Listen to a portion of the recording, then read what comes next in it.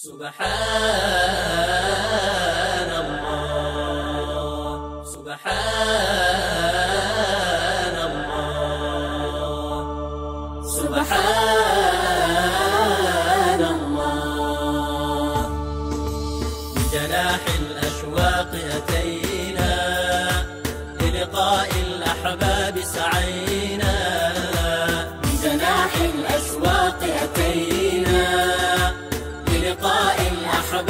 الأحباب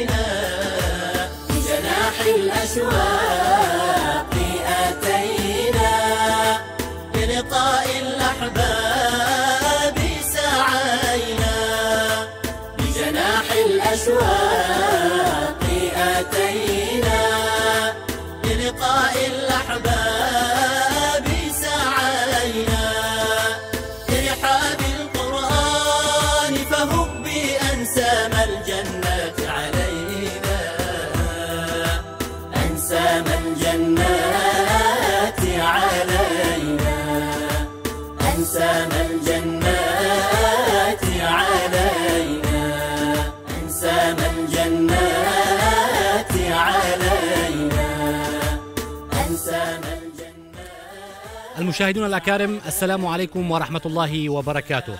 حياكم الله إلى ليلة جديدة من ليالي شهر رمضان المبارك وحلقة جديدة من برنامجكم المسابقاتي القرآني في رحاب القرآن الكريم. يا أمتي عودي إلى القرآن واستمسكي بشريعة الديان. هو قول رب العالمين وخيره اللفظ والمعنى من الرحمن. عضي عليه بالنواجذ إنه والله منجاة من الخسران. أحييكم في بداية هذه الحلقة وأرحب في مستهلها بأعضاء لجنة أو بلجنة التحكيم معنا بداية برئيس لجنة التحكيم الدكتور خالد الكبودي رئيس اللجنة. أهلا ومرحبا بك. وكذلك نرحب بالشيخ غازي البكيلي عضو اللجنة. أهلا ومرحبا بك. وكذلك نرحب بالشيخ الدكتور باسم الحبشي عضو اللجنة. أهلا ومرحبا أهلا بك. وسهلا بك. وكل عام وأنتم بخير وحياكم الله. في هذه الليلة المباركة. ونرحب أيضا بالمتسابقين معنا في هذه الليلة المباركة. أربعة من المتنافسين في هذه الليلة. سيغادرنا في آه، هذه الليلة متسابق واحد بينما الثلاثة سيتأهلون إلى المرحلة القادمة. إذا نستمع إلى المتسابقين معنا في هذه الليلة و يعرفون بأسمائهم. والبداية من على يميني تفضل أخي الكريم عرف بنفسك. حسين محمد عوض باعوضان محافظة حضرموت الجمعية الخيرية لتعليم القرآن الكريم. حياك الله أخي حسين ونتمنى لك التوفيق والنجاح إن شاء الله. تفضل أخي الكريم. أحمد محمد عبد الحبيب علي محافظة عدن جمعية الحكمة اليمانية الخيرية. حياك الله أخي أحمد ونتمنى لك أيضا التوفيق والنجاح في هذه الليلة المباركة. وكذلك نرحب أيضا بالمتسابقين معنا هنا على يساري. تفضل أخي الكريم عرف بنفسك. الاسم بدر عبد الله حيدر قائد من محافظة لحج مركز ترتيل القراءات المتواترة. حياك الله أخي عبد الرحمن ونتمنى لك التوفيق والنجاح إن شاء الله. تفضل أخي الكريم تعريف بنفسك. الاسم علي ثابت حسن باحاي من محافظة شبوة الجمعية الخيرية لتعليم القرآن الكريم. حياك الله أخي علي ونتمنى لك أيضا التوفيق والنجاح ونتمنى للجميع التوفيق والنجاح وبالتأكيد الكل فائز مشاهدينا الكرام في هذا المضمار القرآني. اذا الكلمة الآن للجنة التحكيم. والجولة الأولى للمتسابقين معنا. وتفضل دكتور آه، خالد لطرح السؤال الأول لل- في الجولة الأولى. سبحان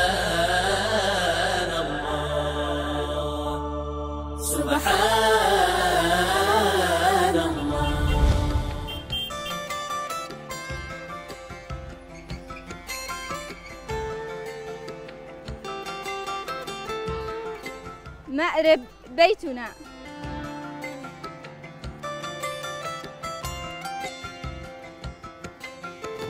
مأرب بيتنا.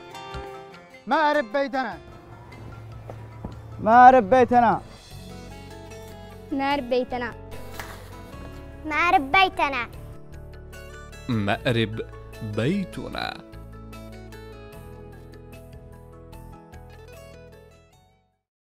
هذه الفقرة برعاية صندوق النظافة والتحصين بمحافظة مأرب.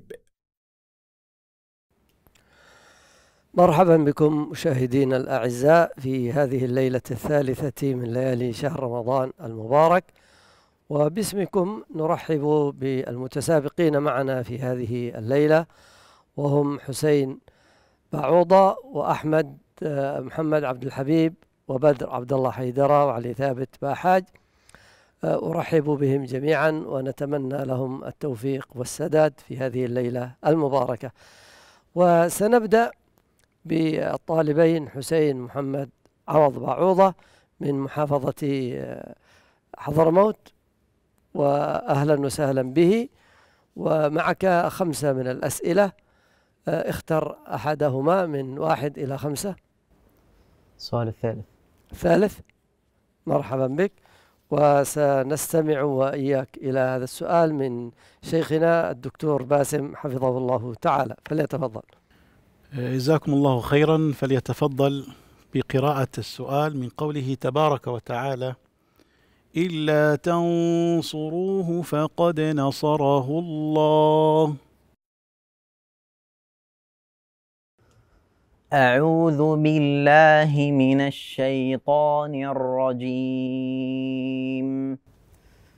إلا تنصروه فقد نصره الله.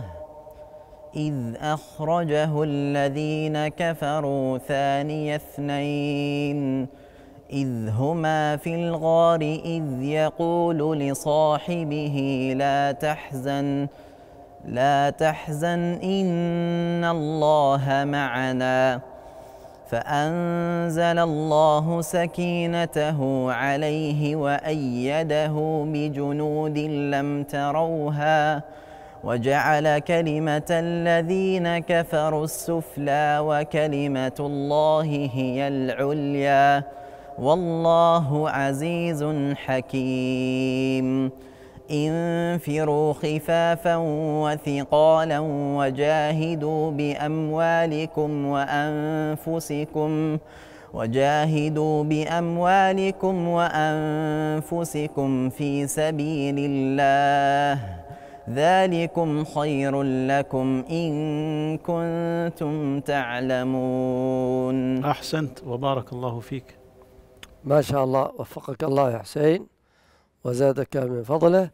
ونأتي الآن إلى المتسابق الثاني وهو أحمد محمد عبد الحبيب علي من محافظة عدن. فأهلا وسهلا بك. وإلى شيخنا أيضا الشيخ باسم بعد أن تختار بقي معك السؤال الأول والثاني والرابع والخامس. فأيها؟ خامس. الخامس. تفضل شيخنا الدكتور باسم لإلقاء السؤال على المتسابق الثاني.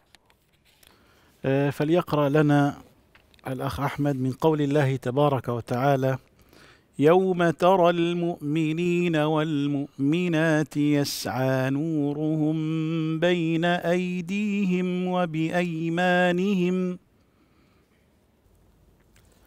أعوذ بالله من الشيطان الرجيم. يوم ترى المؤمنين والمؤمنات يسعى نورهم بين أيديهم وبأيمانهم يقولون رب بشراكم اليوم جنات تجري من تحتها الأنهار تجري جنات تجري من تحتها الأنهار خالدين فيها. ذلك الفوز العظيم. ذلك هو الفوز العظيم. يوم يقول المؤمنون يوم يقول المنافقون والمنافقات للذين آمنوا انظرونا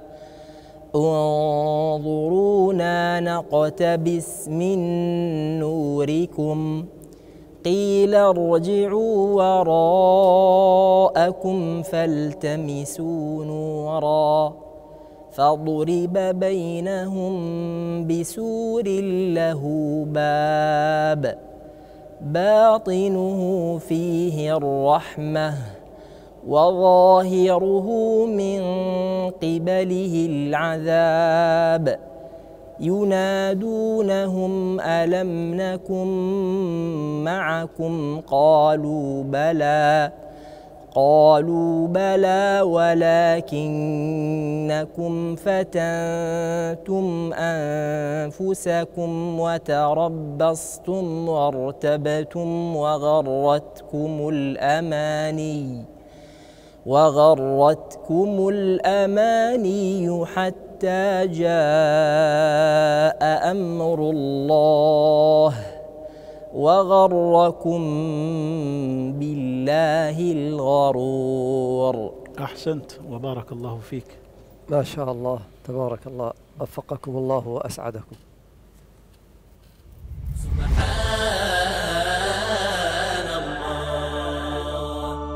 سبحان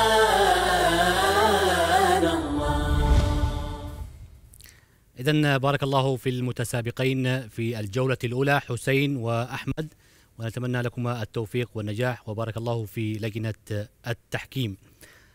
القرآن يشفع لأهله يوم القيامة وهو خير أنيس وجليس ومن ألفه ما ترك ولكن إلفه لا يأتي إلا بعد مجاهدة وصبر حتى يتحول إلى لذة لا يريد صاحبها أن يقطعها. وسلوا من لزموا المصاحف آناء الليل وآناء النهار يخبروكم عن ذلك. المشاهدون الأكارم نبقى وإياكم لمتابعة قصة من قصص نجاح قرآنية ومن ثم نعود للجولة الثانية من سباق هذه الليلة.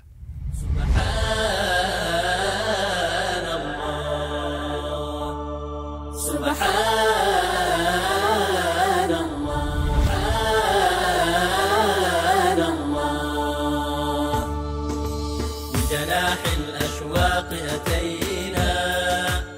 هذه الفقرة برعاية رجل الخير والإحسان صالح محمد عبد رب الطاطي. للقاء الأحباب سعينا لرحاب القرآن فهبي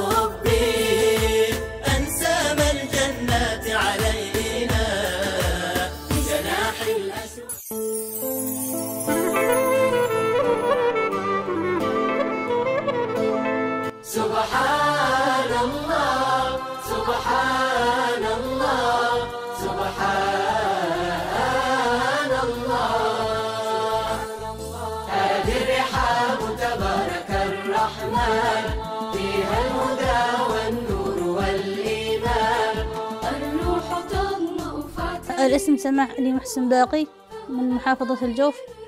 آه، أحفظ القرآن كاملا ولله الحمد. آه، أعمل حاليا آه، مدرسة في مركز نور الهدى في الروضة محافظة مأرب هو في البداية أصلا ما درست مدرسة يعني.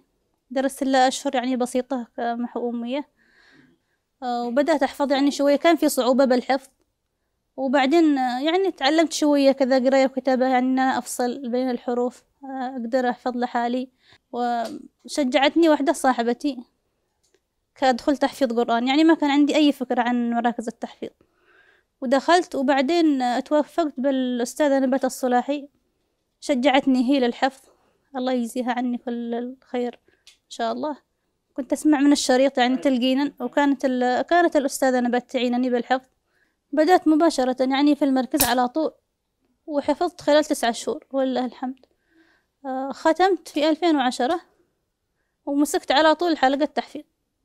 وشجعني أبي الله يرحمه أمي وإخواني خواتي يعني كل العائلة المحيطة بي. ولله الحمد. تحيا الأرض والإنسان. اقرأ لننسى الهم والأحزان. اقرأ لي زميلة الأستاذة سماح نعمل في المركز يعني سويا الأستاذة سماح إحدى المدرسات الرائعات فعلا لها 12 سنة في مركز نور الهدى. آه، طبعا لها منجزات كبيرة جدا ولها 12 سنة تعمل في هذا المركز يعني من المؤسسات التي أسسين مركز نور الهدى وهي مثال للنضال في هذا المجال. سبحان الله سبحان الله.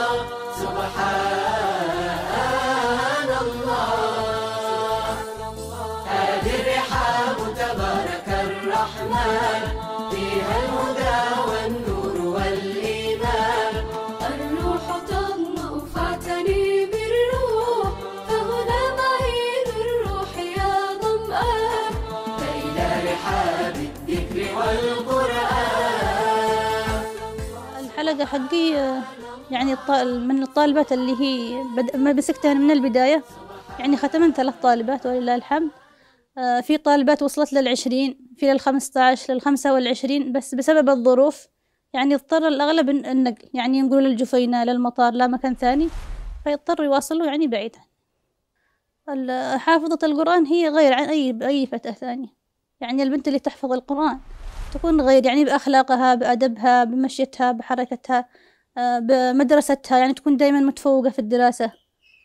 طبيعي يعني إنه حاليا خاصة إذا كان الشخص غير متعلم صعب إنه يوصل إلى مرحلة وصلت له آه، مثل الأستاذة سماح فلذلك هي تعتبر نموذج للمثابرة والإصرار لأنه محال أنها تصل إلى ما وصلت إليه بدون جد ومبذول يعني خارق آه، عملها متقن. وهي محبوبة بين زميلاتها سواء ولا بين طالباتها. تبارك الرحمن فيها الهدى والنور والإيمان رسالتي لكل أم آه، أب أخ أخت يعني كبيرة في البيت إنهم يشجعوا عيالهم على حفظ القرآن سواء كانوا صغار يعني في عمر مثلا من بعد الخمس سنين هذا العمر عمر مناسب لحفظ القرآن يعني تحس إن الطفل يحفظ ويثبت معه الحفظ. وإذا كان يعني شخص كبير أكيد ما يمنع من إنه يحفظ القرآن الكريم لأن الله عز وجل يعينها على هذا الشيء. في معي طالبة عمرها تجاوزت آه، الثمانينات الآن هي بالجزء الثالث تحفظ وهي أمية أصلا. آه، نصيحتي لأي بنت أو امرأة سواء كانت أمية أو متعلمة أنها تلتحق بمراكز التحفيظ لأن أصلا فيها بركة في الوقت آه، بركة في العمر بركة في البيت آه، ال- مع العيال مع ال- الزوج مع الأهل مع يعني الكل يتفاهم معها الكل متعامل معها بحب باحترام بتقدير.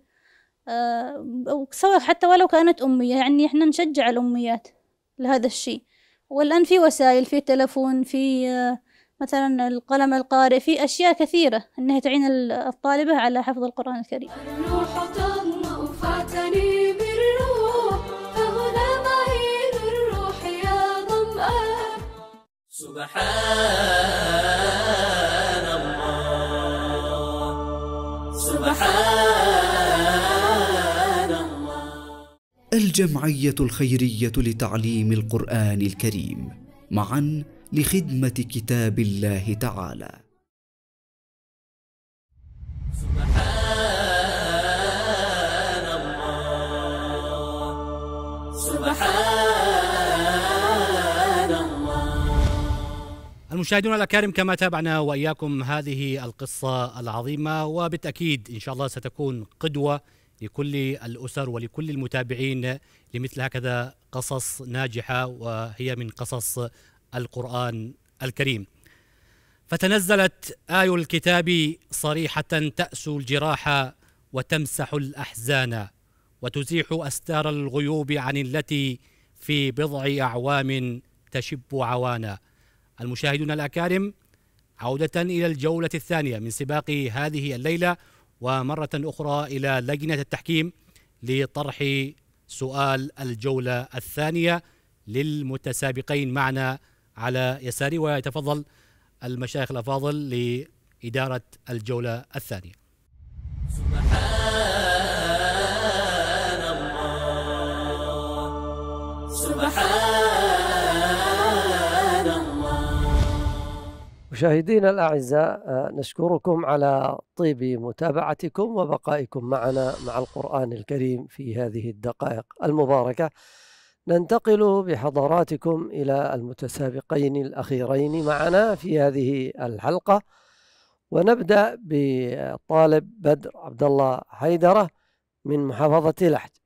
مرحبا بك وأهلا وسهلا بك. بقي معك السؤال الأول والثاني والرابع فأيها تختار؟ ثاني. الثاني آه نستمع إلى شيخنا الشيخ غازي البكيلي ليطرح السؤال على الطالب الثالث. تفضل. مرحبا بالمتسابق بدر وليقرأ لنا من قول الله عز وجل واضرب لهم مثلا أصحاب القرية إذ جاءها المرسلون.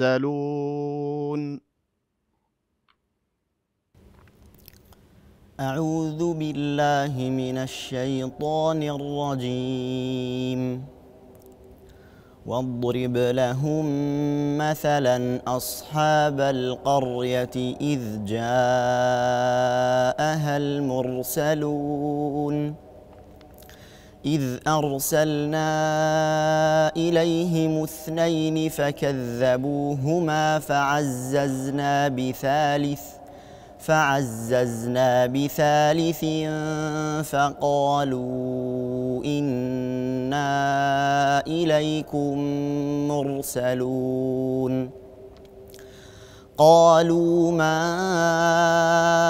أنتم إلا بشر مثلنا وما أنزل الرحمن من شيء.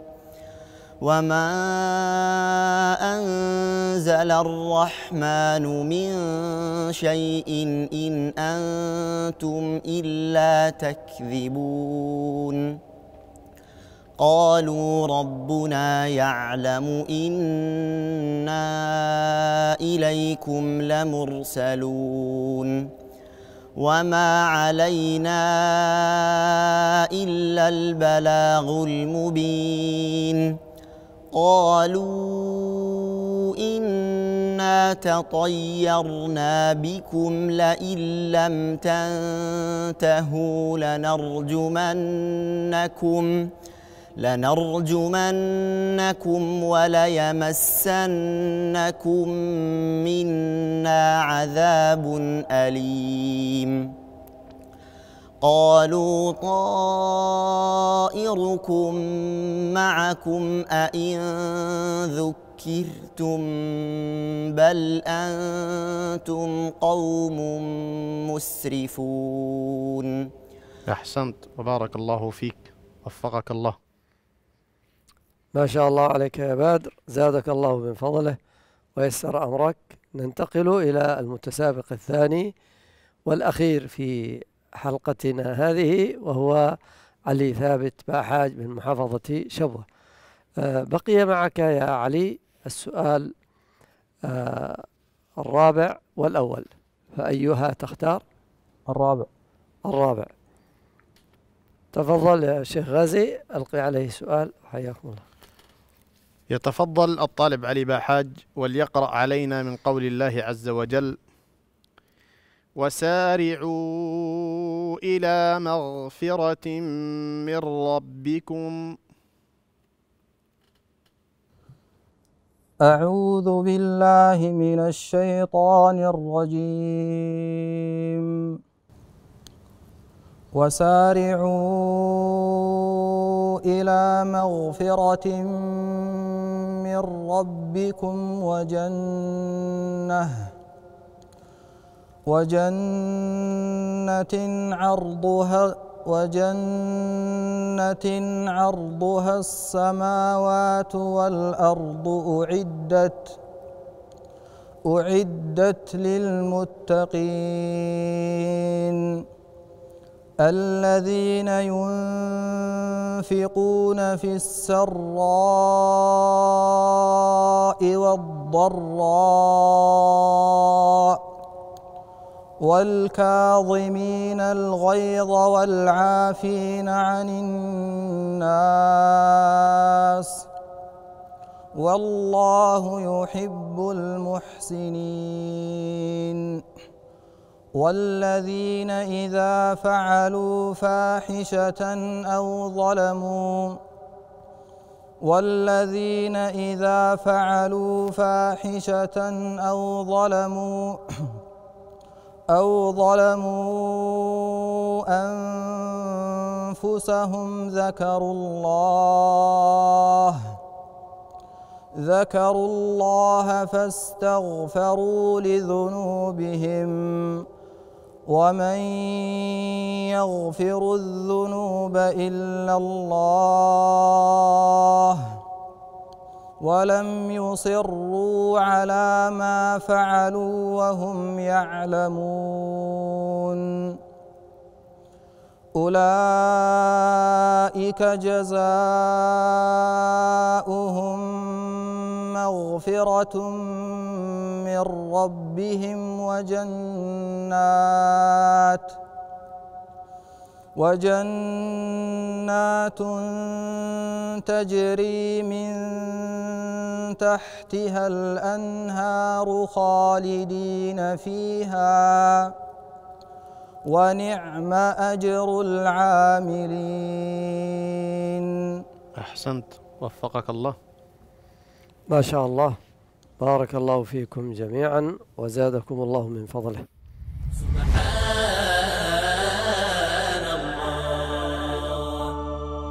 الله.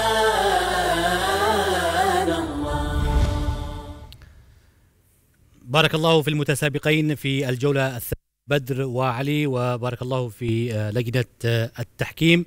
للتذكير فقط آه، مشاهدينا الكرام أن التنافس والتصفيات في هذا البرنامج بالتأكيد سيتبين لنا في آخر هذه المسابقة في آخر أيام شهر رمضان المبارك. الفائز بالمركز الأول وجائزة المركز الأول مليون ريال والفائز كذلك بالمركز الثاني وجائزة المركز الثاني مليون وخمسمائة ألف ريال والفائز بالمركز الثالث وجائزة هذا المركز مليون ريال وكذلك المركز الرابع وجائزة هذا المركز خمسمائة ألف ريال. وكما تلاحظون سيغادر في هذه الليلة مشارك أو متسابق واحد فقط والثلاثة سيتأهلون إلى المرحلة القادمة. إذا مشاهدينا الكرام وحتى نعطي فرصة أكثر للجنة التحكيم لتجهيز النتيجة النهائية في هذه الليلة المباركة. نذهب إلى استراحة هذه الحلقة والفقرة الفنية الهادفة. نتابع. سبحان الله. سبحان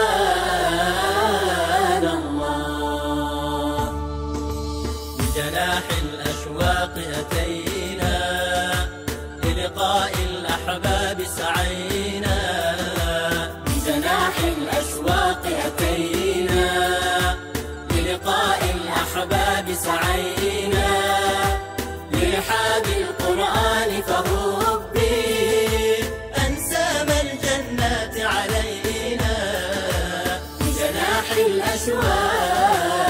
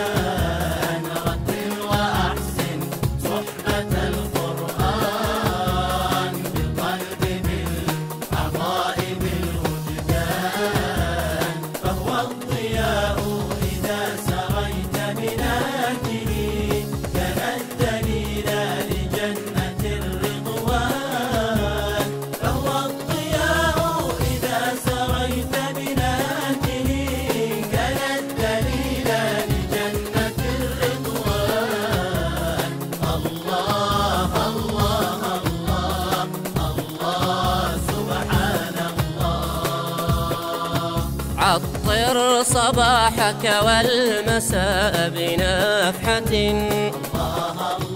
من آية تجلو صدى الأجفان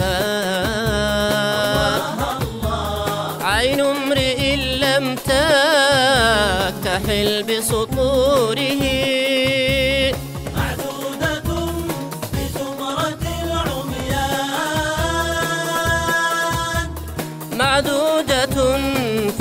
زمرة العميان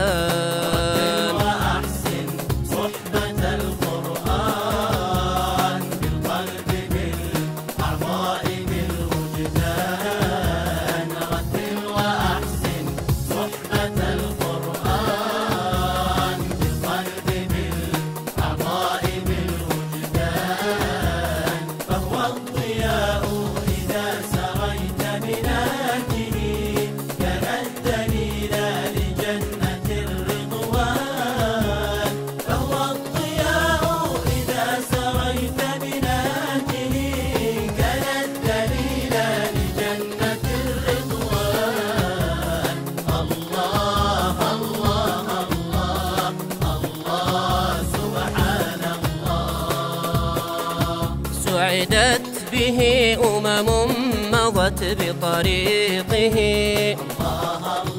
فجنت ثمار العز بعد هوان. وبهجره شقيات حواضر ملكها.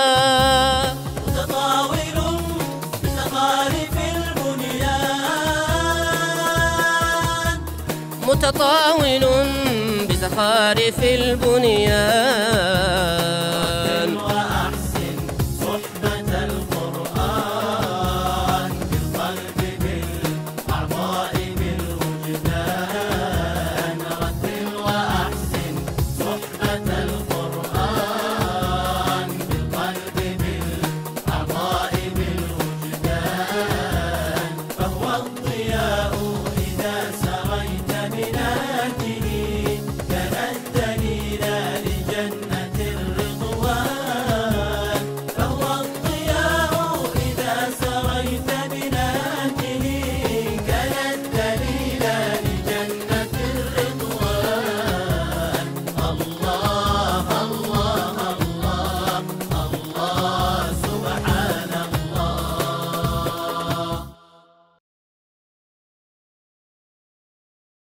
سبحان الله. سبحان الله. سبحان الله أهلا بكم من جديد. هذا كتاب الله يا قوم ارجعوا لرياضه الفيحاء كل أواني فاتلوه في فهم يزيح عن النهى رهج الشكوك وعقدة الحيران. إلى فقرتنا التالية مشاهدينا الكرام وهي فقرة خاصة بمعالم وأعلام يمنية وهي فقرة ميدانية والزملاء في الميدان. وسؤال هذه الليلة. نتابع. سبحان الله. سبحان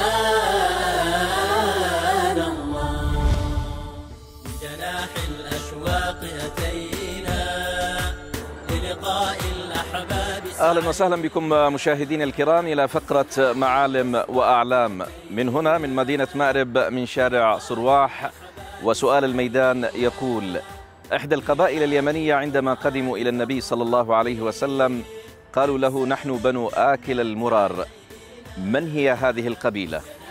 نتابع من سيكون الفائز بجائزة السؤال. للقاء الأحباب.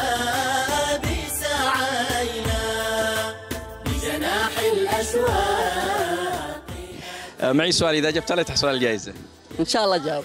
من هم بنو آكل المرار؟ استعين بصديق حاول. أسألك عن قبيلة آه، تسمى ببني آكل المرار. ما أدري والله.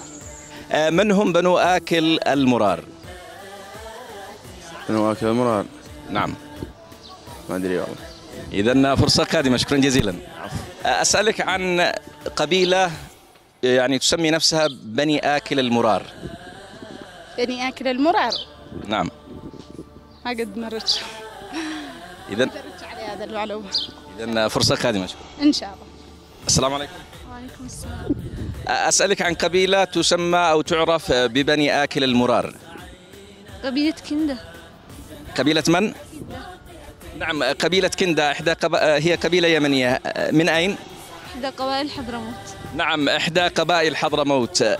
آه، قوم أتوا إلى النبي صلى الله عليه وسلم من قبيلة آه، كندة الحضرمية اليمنية. أتوا إلى النبي صلى الله عليه وسلم وقالوا له نحن بنو آكل المرار. إجابة سليمة حصلنا عليها هنا في جامعة إقليم سبا من الأخت. ذكرى من الأخت ذكرى. ألف ألف مبروك. وحصلت على جائزة مالية مقدمة من مجموعة جابر بن حيان في علم الصيدلة. ألف مبروك. شكرا.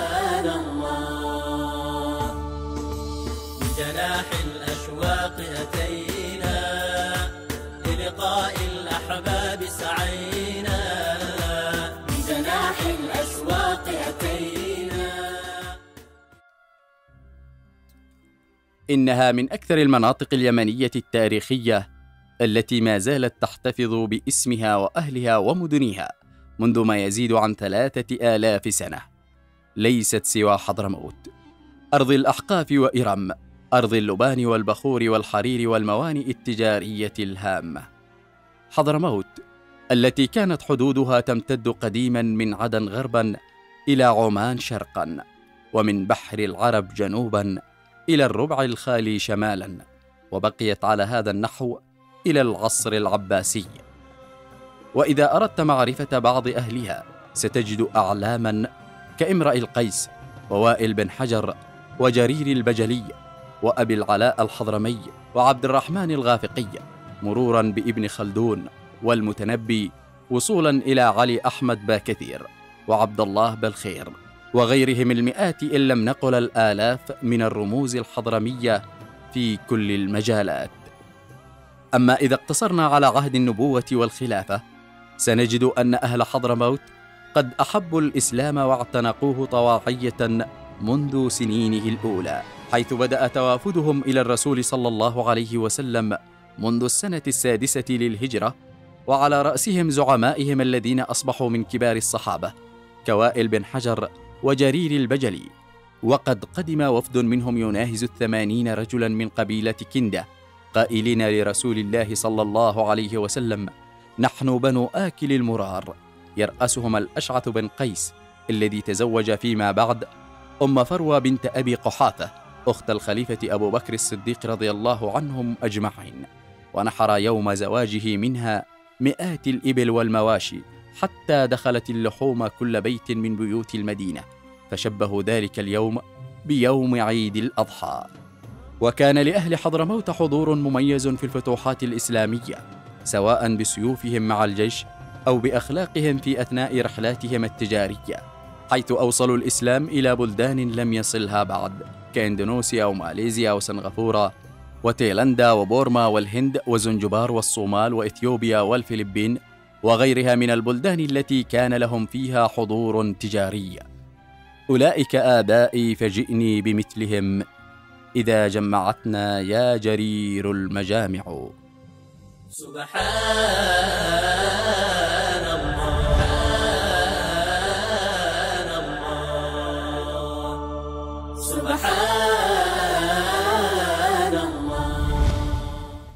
شكرا جزيلا للزملاء في الميدان وتهانينا للفائز بالجائزة الميدانية ونتمنى حظ أوفر لكل المشاركين في آه، الميدان. وعودة إلى الاستوديو ولم يتبقى إلا إعلان النتيجة النهائية لهذه الحلقة. والكلمة الآن للجنة التحكيم. لنتعرف من الذين سيتأهلوا في هذه الليلة إلى المرحلة القادمة ومن الذي سيغادر وإن كان المغادر بلا شك هو فائز بحفظه لكتاب الله عز وجل. وإلى لجنة التحكيم. آه، مرحبا بكم مشاهدينا الأعزاء إلى سماع نتيجة هذه الليلة. ولا تزال المنافسة على أشدها والفوارق فعلا فوارق بسيطة. آه، حصل الطالب الأول حسين محمد عوض باعوضة في الحفظ على خمسين من خمسين وفي التلاوة على سبع وأربعين درجة وثلاث وثمانين في المئة. مجموع درجاته سبع وتسعون وثلاث وثمانون درجة. آه، وثلاث وثمانين في المئة. أما المتسابق الثاني أحمد محمد عبد الحبيب علي فقد حصل في الحفظ على ثمان وأربعين فاصل ثلاثة وثلاثين وفي التلاوة على تسع وأربعين فاصل ستة وستين ويكون مجموع درجاته سبع وتسعون وتسع وتسعون آه، في المئة. أما المتسابق الثالث بدر عبد الله حيدرة فقد حصل في الحفظ على خمسين درجة من خمسين وفي التلاوة حصل على تسع وأربعين درجة فمجموع درجاته تسع وتسعون ويكون هو الأول في حلقة هذه الليلة. أما المتسابق الأخير وهو علي ثابت باحاج فحصل في الحفظ على خمسين درجة من خمسين وفي التلاوة على سبع وأربعين درجة فاصل ثلاث وثلاثين. بمعنى أن مجموعه سبع وتسعون درجة فاصل ثلاثة وثلاثين ويكون هو الذي سيغادرنا في هذه الحلقة آه، موفقا مشكورا والتوفيق إن شاء الله للجميع. مع شكرنا للمشاهدين الأكارم وللطاقم على حسن المتابعة. آه، نسأل الله تعالى أن يأخذ بأيدينا ونواصينا إلى كل خير. إذا بارك الله في مشايخنا الأفاضل وفي آه، حفاظ كتاب الله المتنافسون في آه، هذه الليلة المباركة. وكما هو واضح من خلال إعلان النتيجة من قبل لجنة التحكيم فإن الذي سيغادر هذه الليلة هو يا دكتور خالد؟ علي ثابت باحاج هو الأخ علي ثابت ونتمنى له التوفيق والنجاح وبلا شك أنه هو آه، فائز بحفظه لكتاب الله عز وجل. ولكن هذه طبيعة المنافسة حتى يتبين لنا في آخر شهر رمضان المبارك من الفائزين بالمراكز الأربعة المركز الأول والثاني والثالث والرابع. إذا يتفضل الشيخ صالح الحواني رئيس الجمعية الخيرية لتعليم القرآن الكريم إلى الاستوديو لتسليم الجائزة وشهادة المشاركة للذي سيغادرنا هذه الليلة. سبحان الله سبحان الله حياك الله شيخ صالح وتحية لكم من خلالك لكل العاملين في الجمعية الخيرية لتعليم القرآن الكريم على جهودكم المبذولة لإنجاح هذا البرنامج. إذا الله كتب الله أجر الجميع حياك الله. إذا كما أعلنت النتيجة يا شيخ صالح من قبل لجنة التحكيم فإن الذي سيغادر آه، دكتور آه، خالد الذي سيغادر الليلة هو علي ثابت. الأخ علي ثابت يتفضل الإسلامي آه، جائزة مالية مقدمة من آه، مكتب النظافة والتحسين بمحافظة مارب. وكذلك شهادة مشاركة من الجمعية الخيرية لتعليم القرآن الكريم. الله يبارك فيك إن شاء الله تعالى ويعطيك الصحة والعافية وينفع الله بك. إياك إن شاء الله.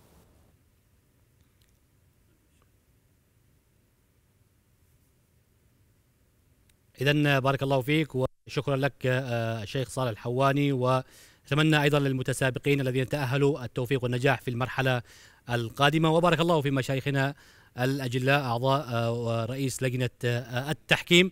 إذا مشاهدينا الكرام غدا في نفس الموعد نلتقي على بركة الله مع حلقة جديدة ومع حفاظ كتاب الله عز وجل. حتى ذلكم الحين نستودعكم الله. السلام عليكم ورحمة الله وبركاته. سبحان الله. سبحان